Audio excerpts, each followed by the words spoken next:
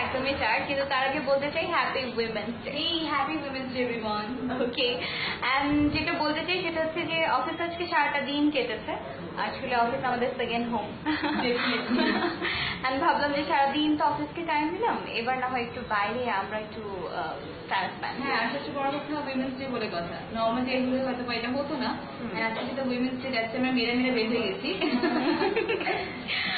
সবচেয়ে বড় কথা হচ্ছে যে মজার ব্যাপার হচ্ছে আমি আজকে ঠিক করেছি।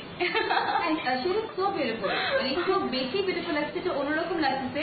Married by হ্যাঁ হ্যাঁ সেটাই বলতে চাচ্ছিলাম। ওকে তো যেটা আমি বলব সেটা হচ্ছে যে আজকে সারাটা দিন খুব ভালো ছিল। আমাদের অফিস আমাদের জন্য কেক অ্যারেঞ্জমেন্ট করেছে। আমাদের জন্য। আমরা অফিসের সবাই তিন চারটা মেয়ে ছাড়া সবাই শাড়ি পরেছিলাম। অ্যান্ড কিছুক্ষণ পর আমরা সেই পিকচারগুলো আপলোড করব। তো যারা যারা এই ভিডিওটা দেখবেন তারা ডেফিনেটলি সেই পিকচারগুলো দেখবেন অ্যান্ড মেয়েটার কেন যেন মন খারাপ? মন খারাপ না আমি তো টায়ার্ড একচুয়ালি সারাদিন একদম মানে দৌড়াদৌড়ি উপরে ছিলাম আমরা but it it was a good day exactly তো আমার কাছে যেটা মনে হয় অন্য অন্য যে আজকে নারীরা আছেন তাদেরও হয়তো আজকে দিনটা খুব ভালো কেটেছে আমাদের মতো।